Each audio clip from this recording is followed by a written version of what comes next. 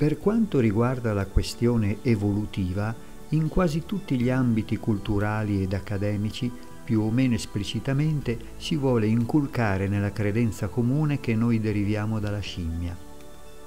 Adamo ed Eva vengono relegati nell'immaginario mitico, talmente mitico che si dissolvono insieme agli eventi legati al peccato originale.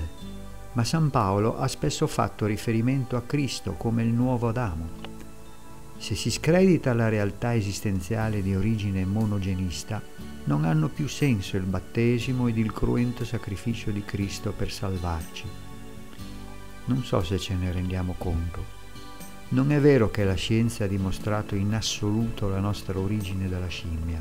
Ci sono ancora degli anelli mancanti di questa complessa catena evolutiva.